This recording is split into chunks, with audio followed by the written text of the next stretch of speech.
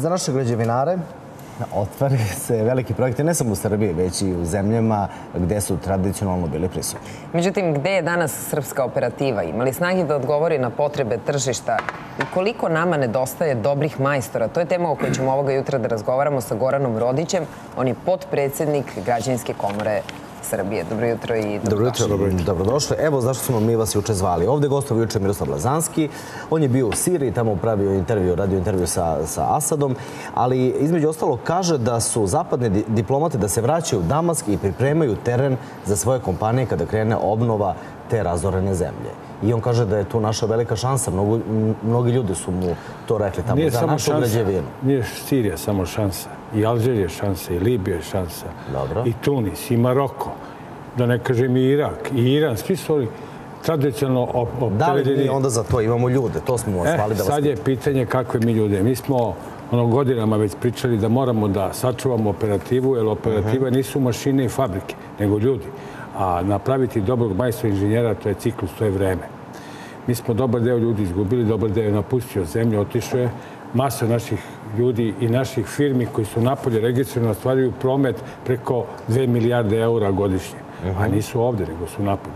Ovo operative što je ostalo i firmi ovde je sposobno da izvedu dosta, da ne kažem sad velike po gabaritu ili po kapacitetima kakve smo nekad imali, ali su sposobni da izvedu složene i po najnovim tehnologijama da osposobi ljudi da mogu da prate konkurenciju napolju. Nama je napolju najveća konkurencija, sami znate, Kinezi, Turci, te zemlje, koji su nekad bili daleko iza nas, sad su organizovani, država ih prati i pomaže i oni nastupaju. Znači, velika je šansa. Znači, operativa kao nosioc, kao motor može da pokrene građevinsku industriju koja može da godišnje u zemlju unosi preko milijardu eura ovakva kakva jeste. Da, ali smo dosta pričali o tome da i bilo je nekoliko inicijativa o konzorcijumima, konzorcijumima naših građevinskih firmi, ali nekako ništa nije urodilo plodom, ni jedan dogovor. Dakle, stiče se utisak prosto da naši građevinari ne mogu da se udruže. Je li to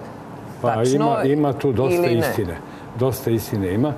Znate što mi kažemo, ljudi prvo moraju da nauče da pređu granicu. Ma se njih ne zna ni da pređe granicu, kamo li da radi napolje, a hoće da radi napolje.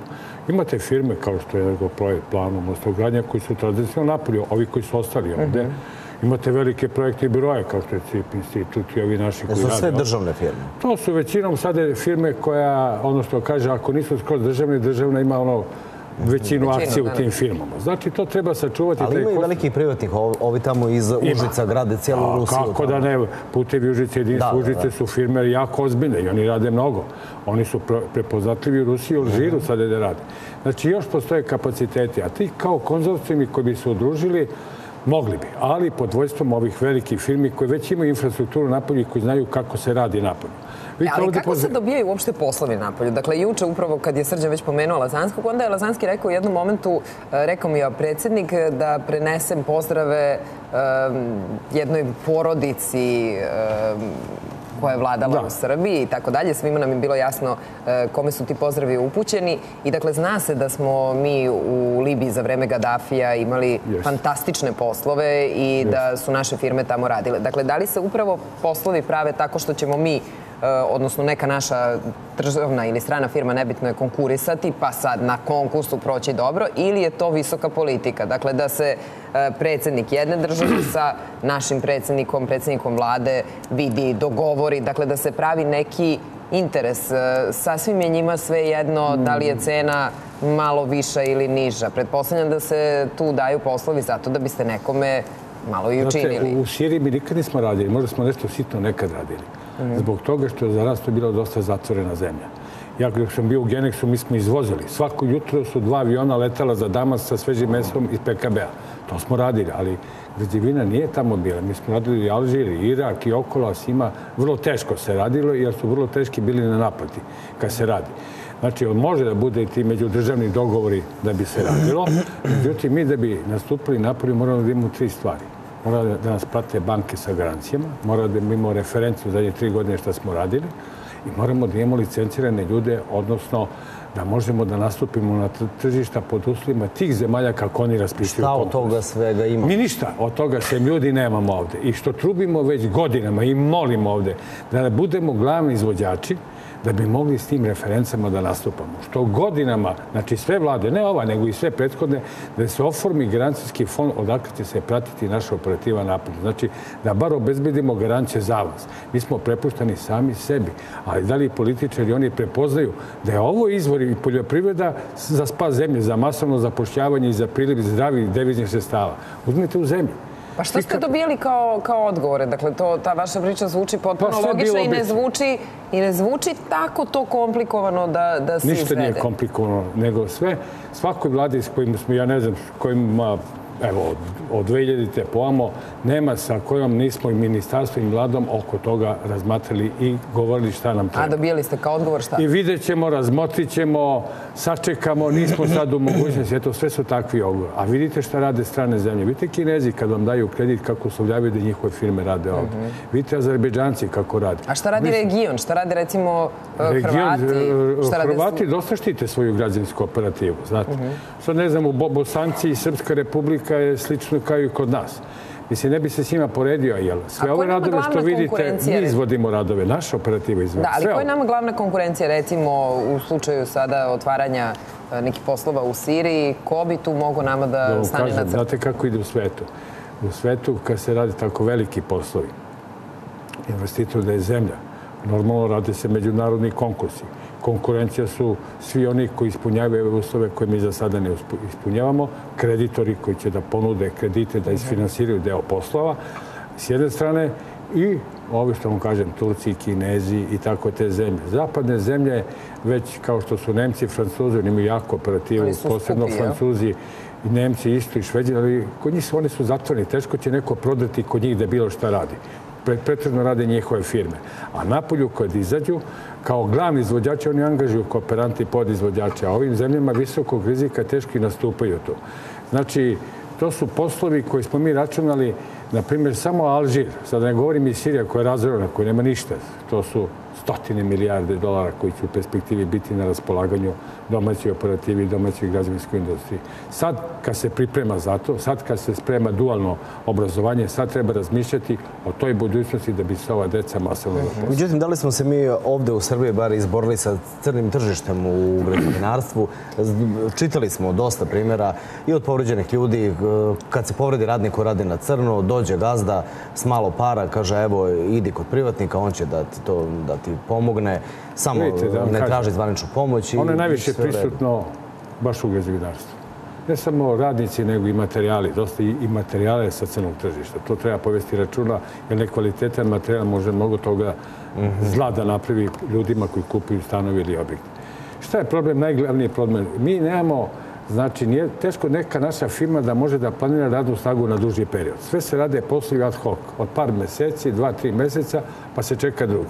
I oni većinom za to vreme obezbede dobar deo radne snage sa crnog tržišta, da im na brzinu završe takav posao uh -huh. i tu se javljaju ovi problemi. Kako se nalaze ti radnici? Kako se ubeđuju da rade na crno? To, to je da ne verujete. Mi to zovemo goniči radne snage. To su ljudi koji u svakom selu u Srbiji zna šta ima od radne snage. Gde su tesari, gde su zidari, gde su armirači, gde su stolari, keramičari.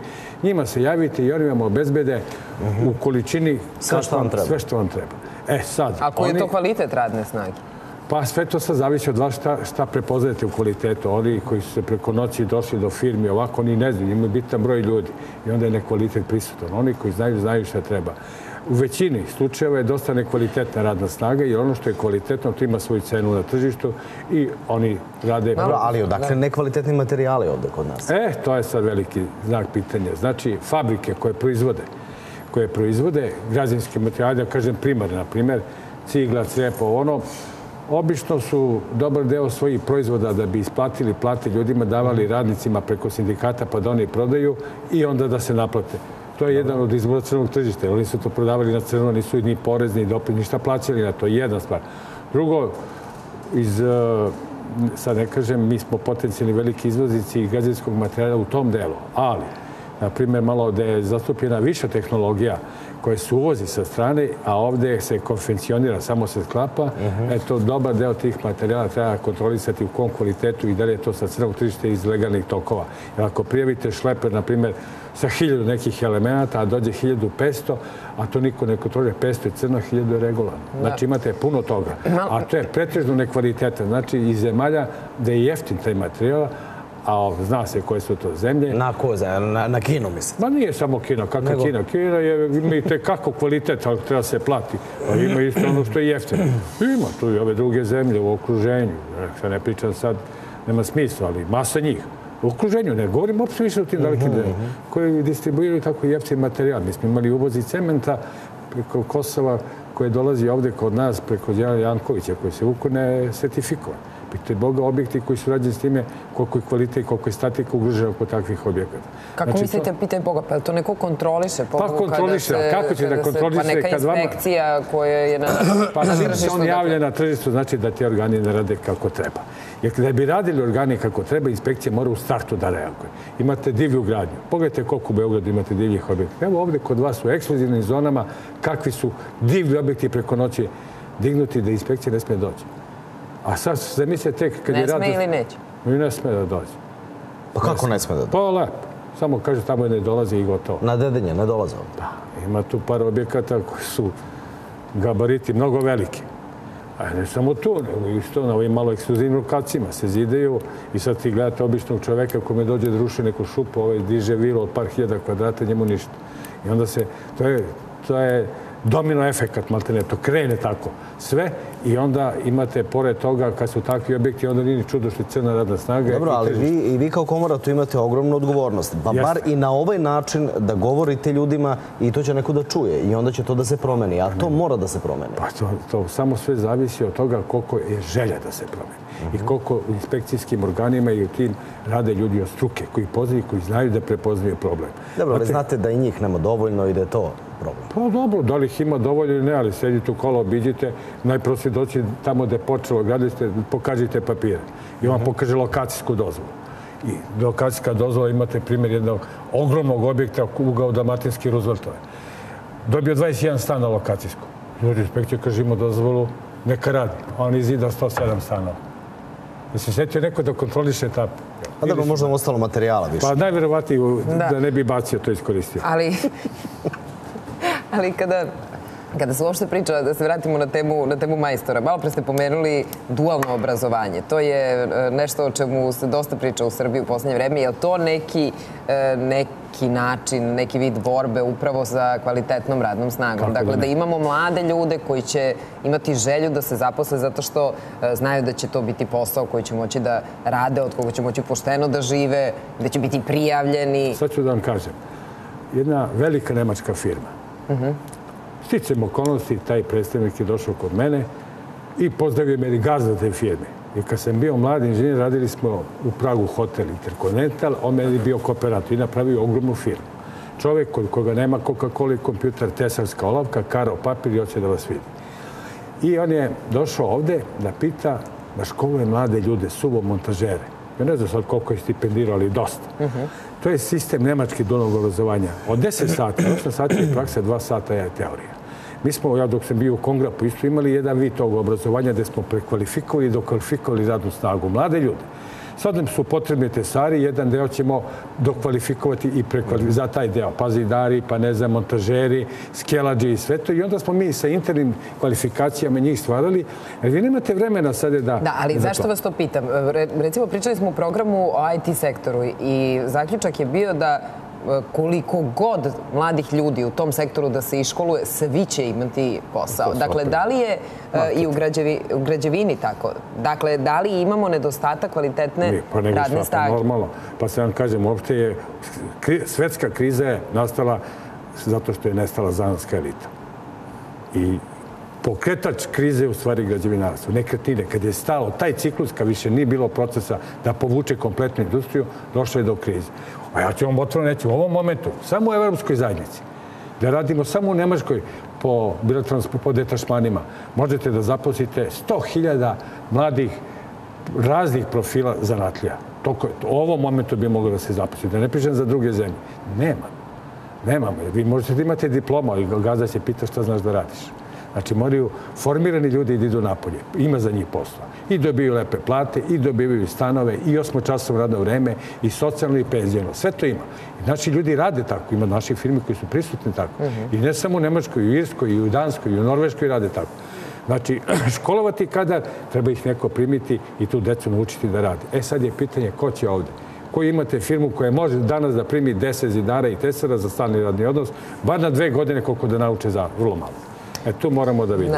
Da. E, nadamo se da nećemo imati ponovo priče kao što smo imali, a imamo ih vrlo često, mada smo mi to imali u programu pre nekoliko meseci, možda je prošlo i više od godinu dana, onih mladih ljudi koji su otišli u inostranstvo pa ih pohapsili tamo pa su bili zatvoreni, onda ljudi rade na crno u inostranstvu i to je veliki E, I prolaze problem. torturu generalno. Ma Da. to imate i danas koliko hoćete na tri meseca idu, najviše idu u Švajcarsku, idu u Španiju, idu sezonski, tako rade. Rade stolariju, parket, elektriku, struju. I ako i pohvati, i pohvati, ako ne pohvati, stave pare u džep i vraci se. Nemaš ima bilateralne sporazume da bi mogli da im obezbedimo kao u Nemačkoj. Firme naši idu. Ljudi su sigurni tamo i rade, a ovamo nema. A traže se.